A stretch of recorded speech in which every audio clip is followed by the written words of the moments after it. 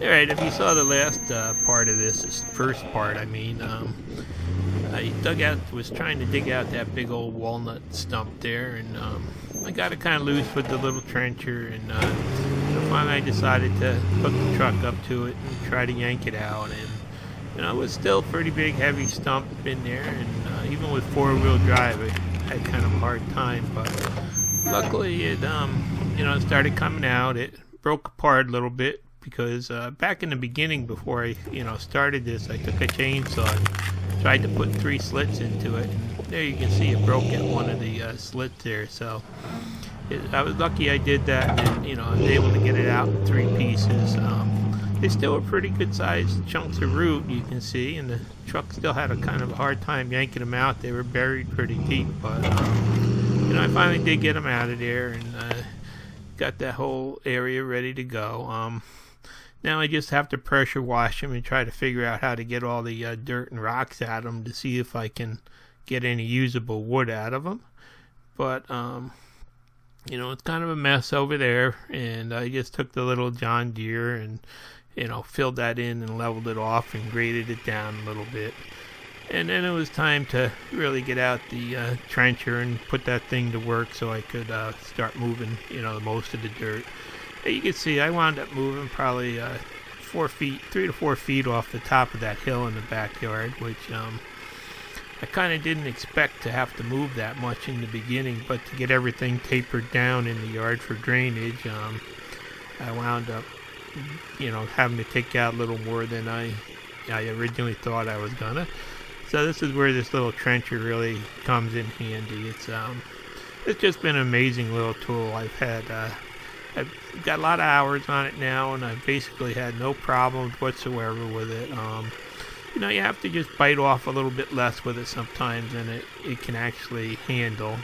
And if you run into roots and stuff like that, it you know it'll pull it up a little bit and move it around when you're digging with it. But um, these are the kind of conditions that it really likes to work in. And there was there was really no way for my little John Deere to dig out all this dirt and um, you know push the blade in there or the bucket in there and be able to scoop it out. So this trencher really did come in handy.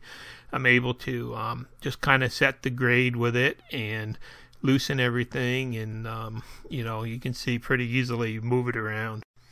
And I finally did get all the hoses switched around on the control valves on the trencher here so that it's um, easy for my brain to remember exactly which way to push or pull a lever. So I, you know, you can see I'm, I'm pretty much uh, a lot smoother with it now than I was before. Now, um, you know, some of this is being run in real fast motion just to speed it up a little bit. I wish it would run that fast, but um, it's basically just uh, you know just a little a little slow machine, but it does get the job done. And there probably would have been no way that I could have uh, moved all this dirt without it. So um, I'm kind of guesstimating that uh, I had to dig out probably at least 300 cubic yards of dirt with it. Um, it turned into a much bigger project than I had originally estimated, like I said, and um, this trencher really did come in handy. So I was able to, you know, just loosen everything up to the grade and um, kind of separate a little bit of the, the bottom dirt and the topsoil out so I could, you know, start moving it and filling it up above. Uh, and that's kind of smoke you see out of a tractor when you don't let it warm up. I just started it up and started digging with it there, and you can see it does put out a puff of smoke. But um, this little John Deere did did do several thousand trips across the yard, uh, you know, moving the dirt. Um, I think you know it's probably about two feet deep in a, what was a hollow spot up there before now. And the, the, bucket on the John Deere, I think it holds a little over five cubic foot. So, you know, you're talking like four trips to the yard with it. So it's um, you know, it's a pretty slow process, but you know, it's not bad. It's kind of relaxing. Um, so, you know, there it is. I just had to, you know, take each bucket one at a time and start distributing it around. And you'll start to see some piles um, pile up where I've kind of taken and piled the topsoil to be spread later. So hopefully I don't have to buy too much of it in the spring. So um, the one good thing about this little Deere is uh, I was just running it at you know maybe 1400 RPM when I was doing this, and the darn thing wound up getting um, about almost three and a half hours of runtime to every gallon of diesel that I used, which I thought was really um, pretty amazing for you know a tractor of this size.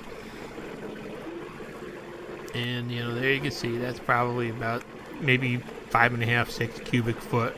All the bucket will hold, but um, you know you make enough trips and eventually it'll all be moved.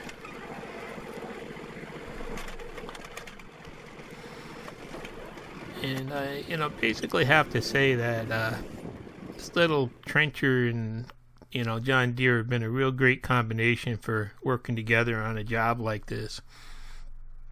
There you can see I'm starting to you know make a little more progress and get things graded out and um, now I took the trencher over onto the um, the other side there by the where the big maples are and stuff and just started uh, trying to get the grade leveled or tapered downhill through there. So um, this here is a, a lot of topsoil and stuff that I'm taking off first. So I'm just, like I said, putting piles all around just so that um, I can spread it later and hopefully, um, you know, wind up with enough in the end or pretty close to enough. So um, here it is, uh, just trying to operate the uh, trencher with one hand and hold on to the camera just to kind of give you an idea what it looks like with this little guy. And didn't work so good because, uh, you know, it, it, it, basically takes two hands to operate it, and uh, it um, it gets a little confusing when you try to do things differently. But um, you know, pretty much you can see it's just a you know, the, the, the slow little digger, but it does get the job done, and um, it will rip out quite a quite a chunk of soil, you know, when it's doing it, and I did have a couple big, you know, probably like four or five hundred pound rocks that I had to dig out also, and uh, it had no problem with them. I just have to, um, you know, make, make a, uh, a claw in there to be able to grip and pick up stuff like that in the future. So hopefully I'll, you know, I'm going to be doing a video of adding a thumb on it sometime this fall.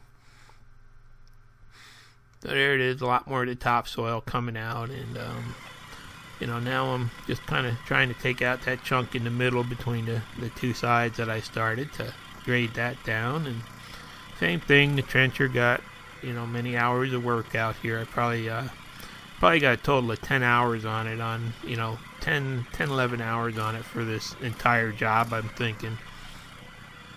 So it wasn't something quick, but, you know, it was the only way to get through the roots and stuff because my little John Deere just just won't push and you know move a root or a rock or anything. It just stops dead. So once you loosen it up and put it in piles, it's uh, it makes it an easy job for it. And it's you know it's funny because I see a lot of comments in my other videos with this trencher about oh you should have got a backhoe for the John Deere or you should have you know got a full size backhoe or something. But um, actually I'm very happy with this and um, it turns out that this thing actually has probably twice the reach almost of what that little John Deere backhoe has. Um, you can see it's really got a real nice reach on it and everything, and um, puts no no extra strain on the tractor or anything. So I'm really uh, I'm really very happy that I went this way, and um, it is doing everything that I bought it to do. And you know I've gotten out probably ten stumps with it so far, and um, you know now I'm kind of digging out this this whole uh, area of my yard, and you know, in the future, I've got another 10, 12 stumps to take out, and um, I just have to clean up around the edges of a pond and stuff like that. So it's going to get a good workout, and um, you know, it, it's been good so far with no problems. And you know, in the near future, I'm going to do some upgrades to it. I uh, I plan on putting like a roll cage around it next, just um, just put like a roof over it for a sun shield to keep me from getting fried when I'm out in the sun. And the other thing I'm thinking about doing is trying to figure out how to add um, an alternator on it or something like that so I can put lights on it to work at night um, because you're pretty much limited. Uh, you know, and it turns out that night is the coolest part, and uh, usually the bugs aren't around that bad at nighttime either. So, and I'm going to be working on that next. But um, you know, you can pretty much see that I've been, you know, getting a lot of use out of it, and I really haven't had any issues with mine yet. Um, I mean, I have heard some things from other people that have had some problems, but um, mine's been trouble free. So there it is, a little bit at a time, and uh, you know I'm starting to to get back into that last corner there, and then I just have to um, take it, and uh, there you see I'm all the way over on the right hand side there now, starting to work into those trees over there. And um, this area here, I really have to, um, starting to um, taper up the bank so that it'll blend into that area without taking out too many of the um, roots from those big maple trees, which really are, you know, my main source for sap for making syrup in the uh, fall, in the winter, I mean. So, you know, pretty much I just thought I'd, uh, you know, put this video together and kind of share with you where I am on this project so far and, you know, how I've made out with all my little toys here. And it's been, it's been going good and, you know, there it is. It's, uh, starting to get the piles of topsoil spread around and stuff. And, you know, then I got to the point where I'm taking the, uh, just taking the loader bucket and back blade and spreading that topsoil and just doing a little bit at a time. And I just keep going over and over again over it again to um, you know get it to pack down somewhat.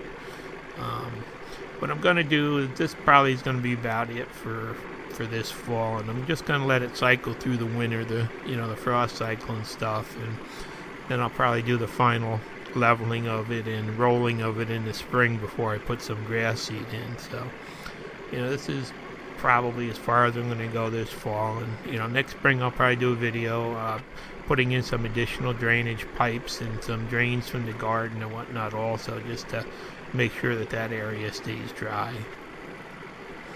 But, you know, the, using the back of the blade like that really helps spread stuff out and, you know, pack it down. So I'm starting to get some of that you know, spread. And I did do a lot of this work at night too with the um, that big light, the LED that I put on the tractor, which really uh, made it nice. That you know gave me more working hours in a day. So that was a real great addition to the tractor.